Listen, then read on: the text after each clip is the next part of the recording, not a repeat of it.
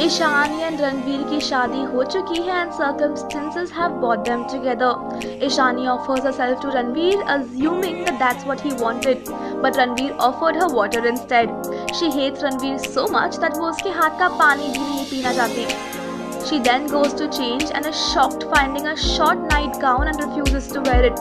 She then wears a bathrobe and comes out. Suddenly, Pink Lips gets played in the background and Ishani gets uncomfortable. She tries to cover herself up and falls asleep. Ranveer then goes and confesses his love to her when she's asleep. But suddenly Ishani wakes up and kicks him. Well, that was quite a step.